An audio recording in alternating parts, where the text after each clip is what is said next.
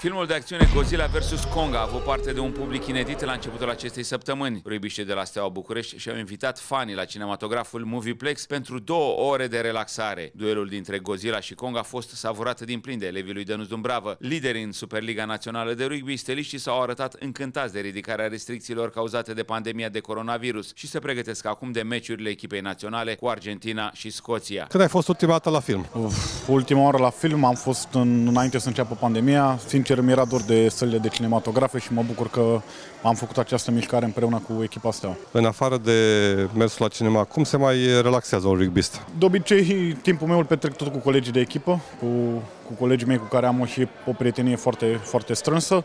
Uh, îmi place să mă uit la seriale pe Netflix, mă mai joc din când în când pe PlayStation și cam atât. Ce gen uh, de filme preferi? Mai mult uh, de acțiune, probabil și datorită sportului.